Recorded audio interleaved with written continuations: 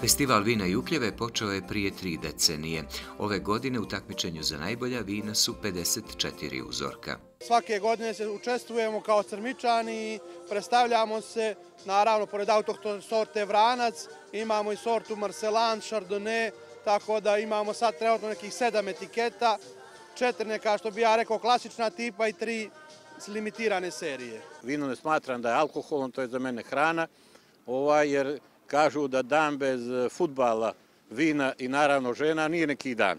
Ne znam da li će se složiti sa mnom, ali to je nešto što život čini lijepim, to je nešto što stvara prijateljstvo. Blizu 300.000 eura kroz subvencije opštinskog budžeta bara uloženo je poslednje četiri godine u vinogradarstvo i vinarstvo. Ono što smo zacrtali još 2018. godine se ostvaruje, a to da E, se poboljšava i kvalitet poljoprivredne proizvodnje i da pronalazimo načine kako da poljoprivrednu proizvodnju uvežemo sa turističkom ponudom.